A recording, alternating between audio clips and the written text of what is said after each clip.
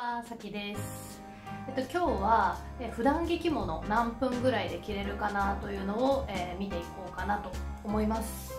で、えっと、使う帯は名古屋帯ですね。名古屋帯を使った一重太鼓が何分でできるか測っていきますね。ちょっと下着は恥ずかしいので、えー、襦袢を羽織った状態からで失礼します。ということで、測っていきます。はい、えー、よーい、スタート。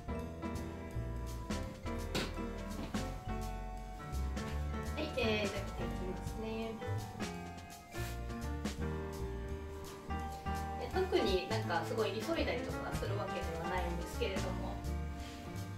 まあ、いつも通り普通に着ていこうと思います。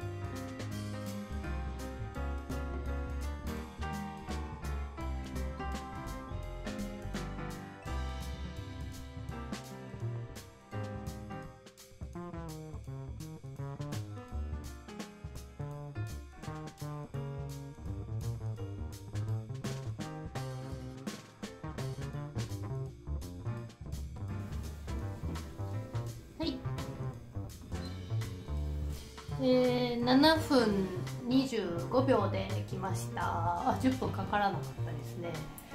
えっと、今回はですね普段着着物ってことなので補正は入れずに、まあ、楽に着る感じで、えっと、なるべく手順も減らした状態で、えー着付けをしてみましたはい仕上がりはこんな感じになりますあの下着を着る時間を入れても10分くらいで着れたんじゃないかなと思います。着付けに慣れてきたらですねあのスピード感もだんだん気にしてあの着付けをしていくといいかなと思います、まやっぱりささっと着れるとあの着物がよりあのハードルが低くなって、まあ、さらっと着てお出かけしようっていう気分にもなれると思うのでぜひこちらも意識してみてください。はいではこの動画はこれで以上になります。ありがとうございました。